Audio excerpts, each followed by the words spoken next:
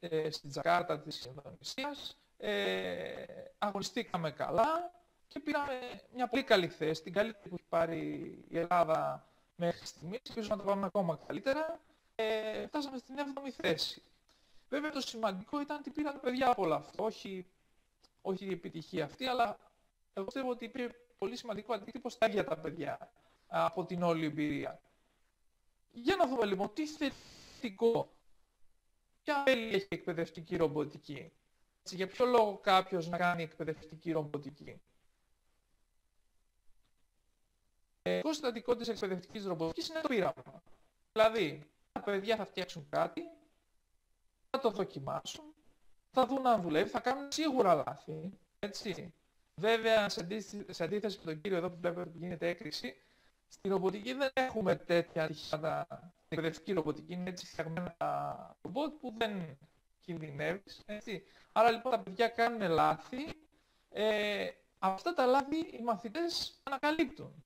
Ανακαλύπτουν τα λάθη τους και σιγά σιγά αποκτούν αυτοπεποίθηση ότι δεν είναι, υπάρχει πρόβλημα να κάνω λάθος, δεν είναι κρακριτέο, τα λάθη ίσα ίσα με βοηθούν να βελτιωθώ και σιγά σιγά αποκτούν και βιωματικές γνώσεις υψηλού επίπεδου. Δηλαδή αυτά που καλύπτουν στη ρομποτική, στην εκπαιδευτική ρομποτική, δεν είναι γνώσεις που απλά τους υπορεύω εγώ, τους λέω, αλλά τα ανακαλύπτουν οι ίδιοι μέσα από τη διαδικασία που ακολουθεί. έχουν οπωσδήποτε την αυτοοργάνωση. Μαθαίνουν, μαθαίνουν να προσέχουν τα πράγματά τους. Άμα είσαι ακατάστατος στη ρομποτική, κάπως έτσι δηλαδή, όλα σκόπια όπως βλέπουμε αριστερά, δεν μπορείς να δουλέψεις. Πρέπει να είσαι τακτικός. Μαθαίνουν λοιπόν να είναι τακτικοί, να βάζουν τα πράγματα στη θέση τους, να τα μαζεύουν στο τέλος του μαθήματος, ε, όσα, χρησιμο, όσα δεν χρησιμοποιούν να τα επιστρέφουν πίσω. Ε, είναι πολύ καλή ε, διαδικασία γι' αυτό, να τους, βάλει, να τους βάλεις σε οργάνωση.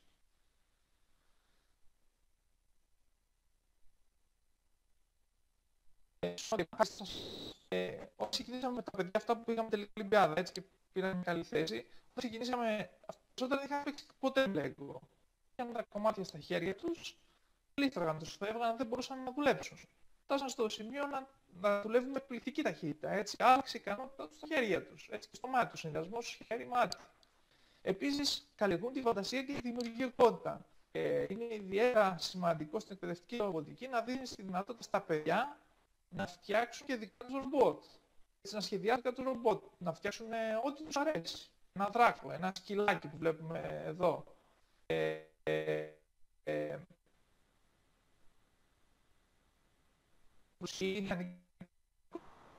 σκορπιό, έτσι, διάφορα σχέδια.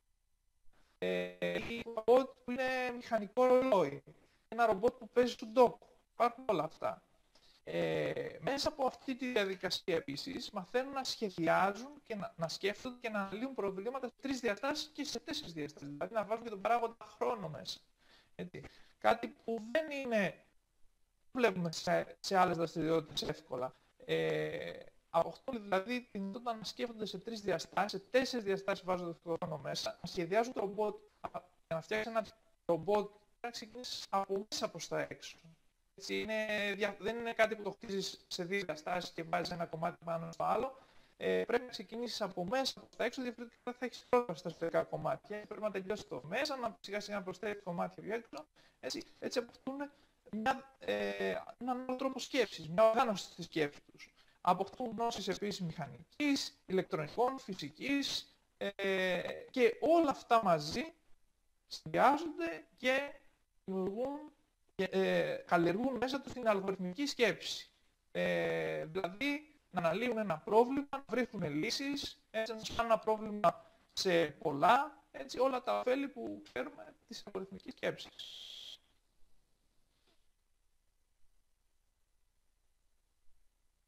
Η συνεργατικότητα ε, χαρακτηριστικά θα σας πω ότι κανόνας μου όταν κάνω παιχτική ρομποτική είναι να βάζω στην ίδια ομάδα τα παιδιά που δεν χωνεύονται. Πολλές φορές βλέπουμε στην τάξη υπάρχει αντιπαλότητα δυστυχώς μεταξύ των παιδιών. Εγώ επίτηδες βάζω πάντα στις ομάδες που φτιάχνω ρομποτική στα παιδιά που έχουν πρόβλημα μεταξύ τους. Σας πληροφορώ ότι μέχρι να τελειώσουμε τη μαθήματα ρομποτικής έχουν γίνει φίλοι. Έτσι, Φαίνουν έτσι ότι Αν έναν άνθρωπο δουλεύει μαζί, το γνωρίσει από κοντά, κοπιάσεις, έχεις ένα κοινό στόχο, πολύ εύκολα μπορεί να τον κάνεις και φίλο. Μαθαίνουν έτσι επίσης ότι αν αύριο μεθαύριο κάνει μια δουλειά, δεν υπάρχει, δεν συμπαθώ κάποιον, δεν, όσο δουλεύεις μαζί του, θα μάθεις να δουλεύεις μαζί του, θα μάθεις να δουλεύεις μαζί του, έτσι. Καλλιεργείται λοιπόν σε πολύ μεγάλο βαθμό, όπως είπε και ο Άρης πριν, η ομαδικότητα, έτσι, να δουλεύουμε μαζί, να έχουμε κοινό στόχο.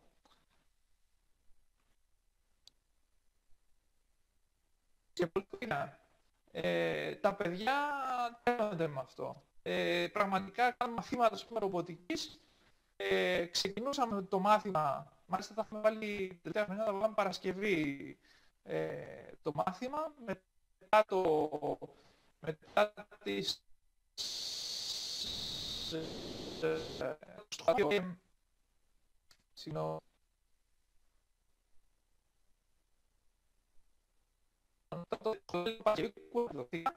Ε, όχι μόνο δεν θέλανε να σταματήσω. Ουσιαστικά, πολλές φορές αναγκαζόμουν, επειδή θα ανησυχούσαν οι γονείς τους αμαργούς, να το διώχνω. Και να τους πω, δυστυχώς, λέει, πρέπει να τελειώσουμε.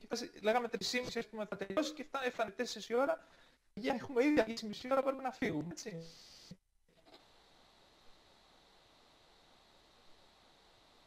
Και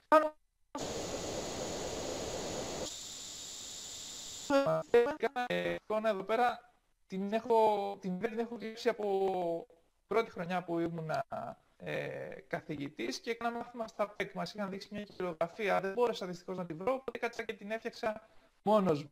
Ε, τι δείχνει αυτή, δείχνει ένα μαθητή, μια μαθήτρια εξατλημένη, να χωνεί στο αυτί της, βιβλία και το δάσκαλο να πατάει τα βιβλία για να περάσουν το χρόνο και να μπουν στο κεφάλι του παιδιού. Θέλουμε λοιπόν μια τέτοια διαδικασία μάθησης.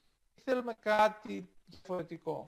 Κάτι που τα παιδιά θα ανακαλύπτουν μόνα τους σιγά σιγά τη γνώση. Αντί να προσπαθούμε εμείς με το ζόρι τα βάλουμε στο κεφάλι τους. Ε, αυτά για την ώρα, αυτά έχω να σας πω. Ε, έχουμε και κάποιες ερωτήσεις να σας κάνουμε. Ε, να κλείσω λίγο την ε,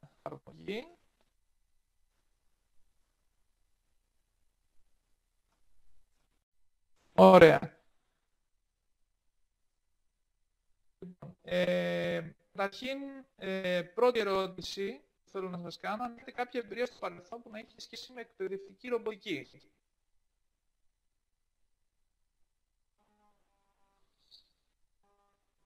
Ωραία. Ε, επίσης, αν έχετε παρακολουθήσει, πάμε στην επόμενη ερώτηση, αν έχετε παρακολουθήσει ε, σεμινάρι workshop εκπαιδευτικής ρομποτικής.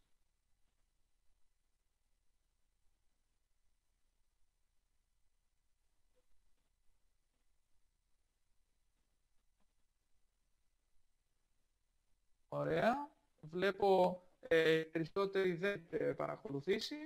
Ε, έχετε διδάξει ποτέ εκπαιδευτική ρομποτική;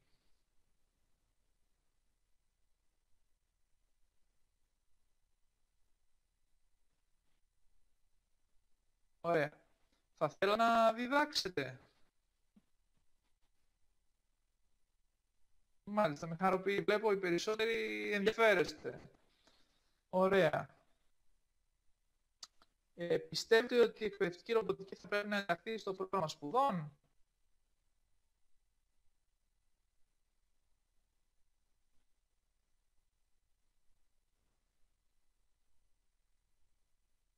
Ωραία. Βλέπω οι περισσότεροι πιστεύετε ότι πρέπει να ενταχθεί. Σε ποιε βαθμίδε τη εκπαίδευση πιστεύετε ότι θα μπορούσε να ενταχθεί η εκπαιδευτική ρομποτική. Μπορείτε να διαλέξετε και συνδυασμό πολλών ε, βαθμίδων.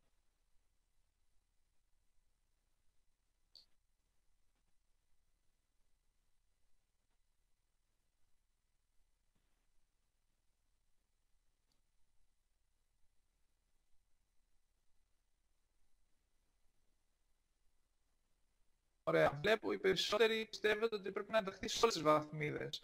Ε, πρέπει να σας πω ότι έχω κάνει και σε δημοτικό αποδική και σε γυμνάσιο. Πιστεύω ότι θα υπήρχε πρόβλημα να κάνω και σε λύκειο ή ΕΠΑΛ. Ε, θα συμφωνήσω μαζί σας. Πάμε στην επόμενη.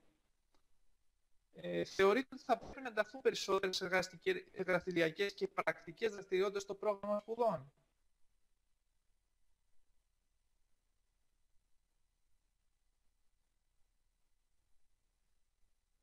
Εδώ είμαστε, είναι ομόφωνη η απάντηση, όλοι συμφωνείτε.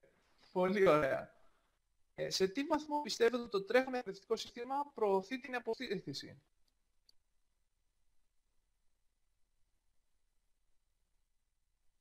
Δηλαδή, έχουμε, προσπαθούμε να φτιάξουμε παιδιά παπαγάλους ή κάτι διαφορετικό; Έχει πολύ παπαγαλία. Οι περισσότεροι απαντάτε πολύ. Συμφωνήσω μαζί σας. Έχει πολύ αποστήθηση, δυστυχώς. Ωραία. Πάμε στο επόμενο. Όσο συμφωνείτε με την παρακάτω πρόταση. Για να ενταχθούν περισσότερες εργασιακέ και πρακτικές δραστηριότητες στο πρόγραμμα μας θα πρέπει να μειωθεί αντίστοιχα ύλη μαθημάτων θεωρίας.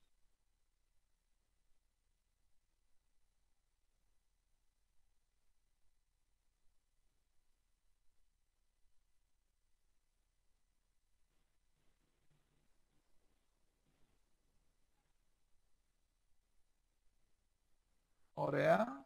Βλέπω οι περισσότεροι συμφωνείτε. Ε, πάμε στην επόμενη ερώτηση.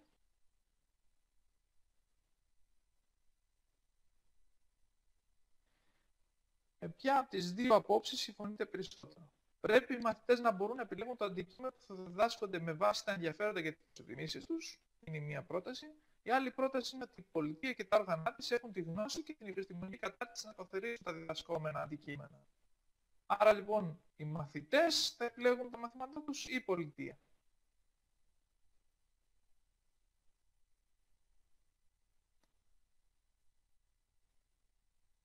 Ε, πήγαμε και στην επόμενη. Ε, θεωρείτε πως η μορφή της εκπαίδευσης που παρέχεται στους μαθητές μας χρειάζεται ριζική αναθεώρηση;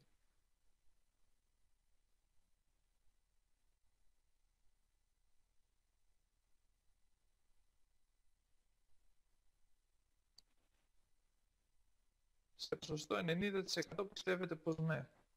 Θα συμφωνήσω και εγώ μαζί σας. Ε, σας ευχαριστώ που ακούσατε. Ε, δούμε αν θέλετε τώρα και ερωτήσεις. Ε, να, να κατευθύνει ο κ. Παπαδάκη στη κουβέντα